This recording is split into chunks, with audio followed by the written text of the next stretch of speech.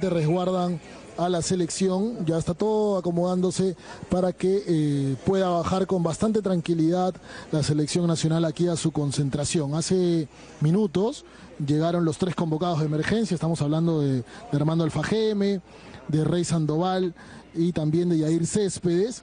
Y eh, la noticia de esta última hora es que eh, Edison Flores, el oreja, ha quedado fuera de las convocatorias porque eh, ha sufrido un desgarro. Es por eso que se ha llamado a Rey Sandoval, delantero de Sporting Cristal. Ahí está el bus, tú lo tienes en la toma, Carlita y gente de Canal N.